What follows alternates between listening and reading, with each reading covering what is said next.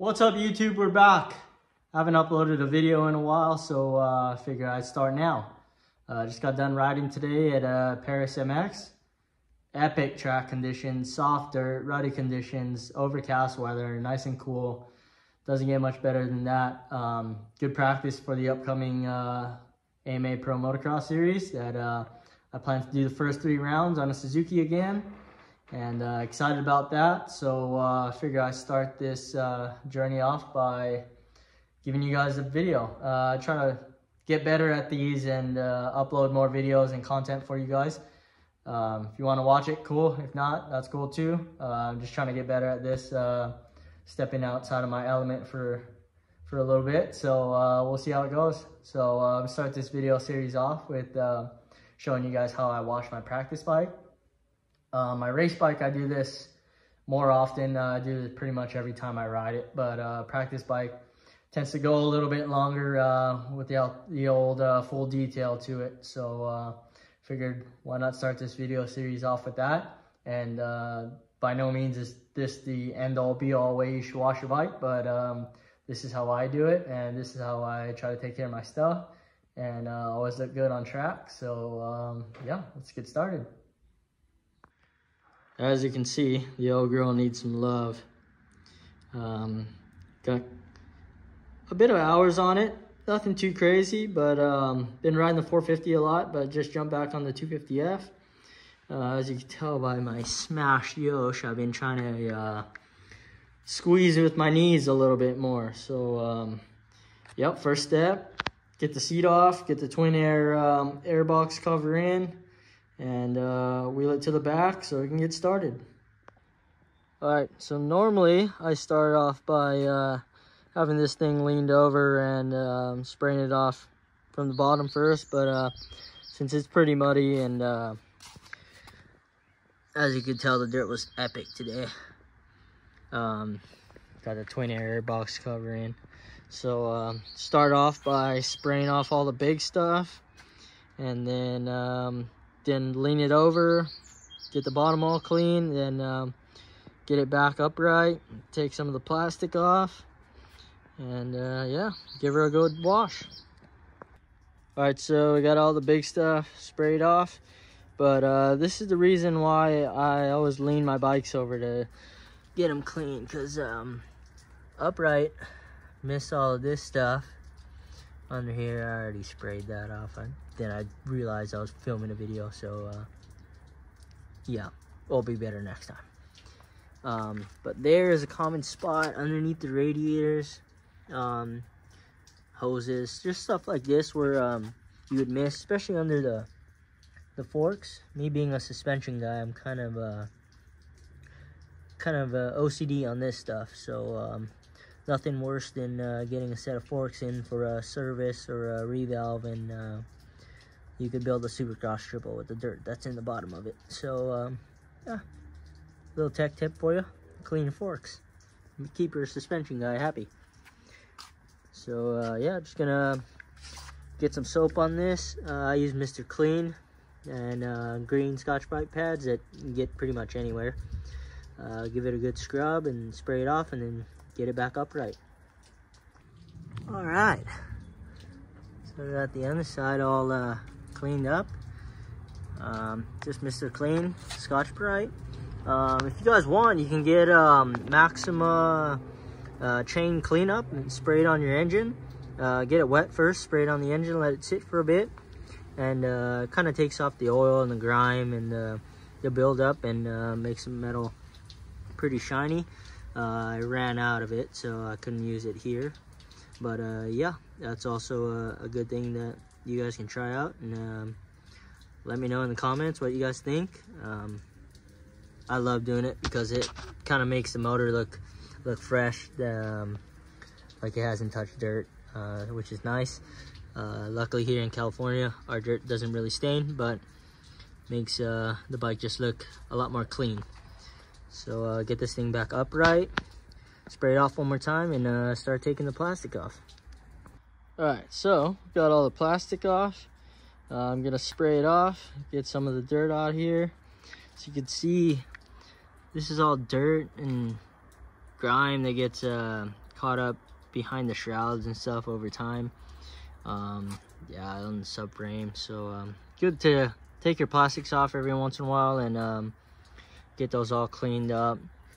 Uh, Dan's looking pretty bad on the yoke, so we might have to pull that off and uh, put the stock one on and uh, see if we can get this one refurbished or not.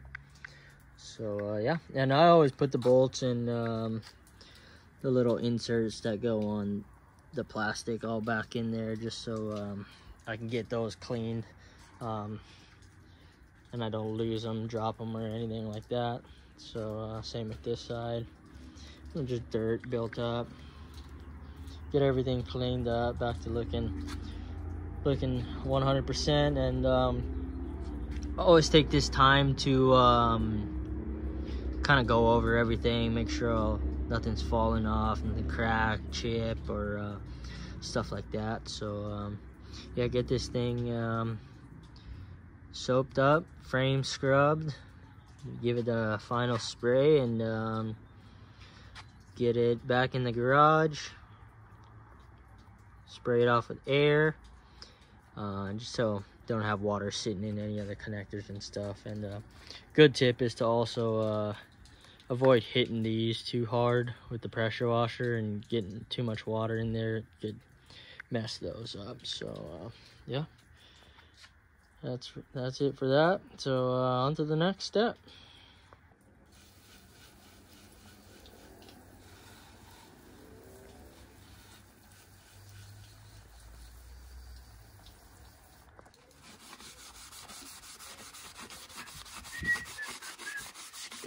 Scrubby.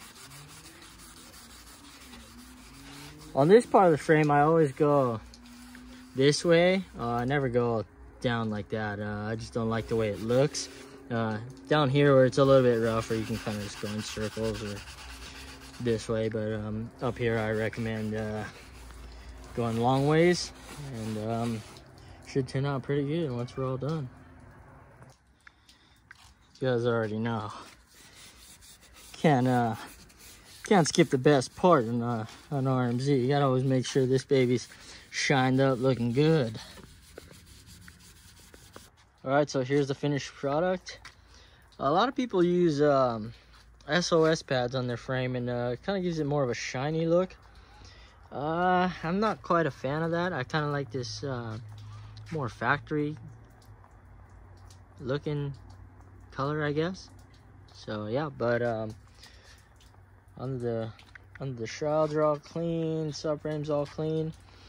And uh, if you guys get a new bike and you get a chance to frame it or you're framing in um, your current bike, uh, this technique works too with Scotch-Brite pads. Uh, you can go crazy if you wanted to use wet sandpaper and get the bottom part of the frame all shiny, but uh, I kind of like it more of a grippy feel. So yeah, and once you do this once, like once it's completely clean down to the frame, it's always a little bit easier to keep it clean. So yeah, that's um, kind of the gist of how I wash this thing. Um, gonna get it back in the garage, get it um, air compressored off, which I'm not gonna show you because my air compressor is obnoxiously loud. And um, get the rest of the plastics washed, and uh, yeah, get her back together.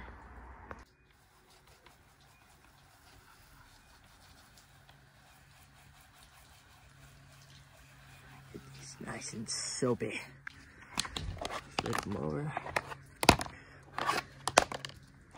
It's also another good reason why to take them off and wash them because that's what they look like after I was done spraying them off while they were on the bike. Um, yeah, a bit dirty. Ooh.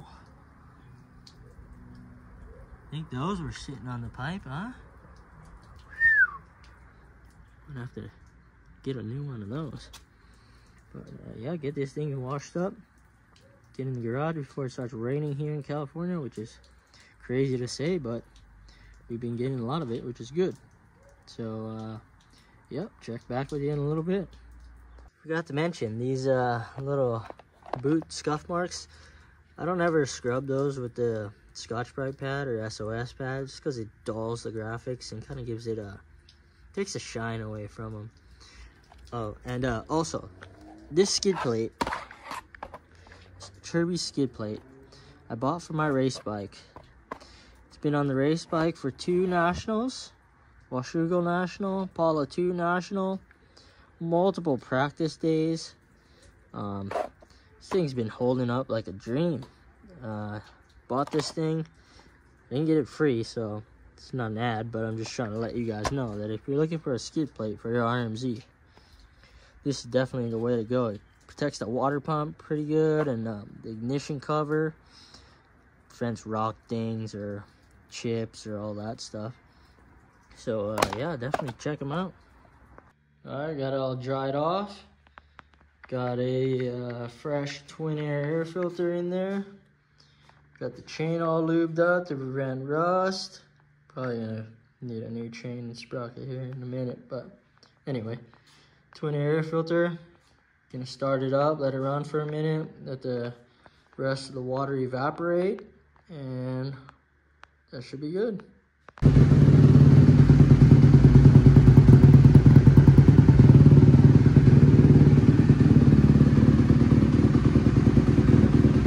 Alright, so we're gonna end the video there. Uh, just got done warming up the bike, uh, letting all the water evaporate out of all the connectors and stuff. So it's not just sitting in there and causing more problems down the road. So uh, appreciate you guys watching. Uh, we're gonna save the rest of the bike work for, for another day. I did a 15 minute warm up in 230s today, so I'm pretty tired. So I'm gonna get some food in my system and kind of relax the rest of the day and uh, we'll be back. We got to do uh, put the plastic on, do an oil change, uh, put a fresh clutch in it. Uh, that'll be in the next video. So uh, appreciate all you guys watching. Um, be sure to like and subscribe, as they say. Um, leave a comment. What do you think? Uh, I want to know um, what you guys do a little bit different when you wash your bikes, or um, what do you think I could improve on? So I'm always down to learn something new. So uh, thanks again and uh, stay tuned for the next video.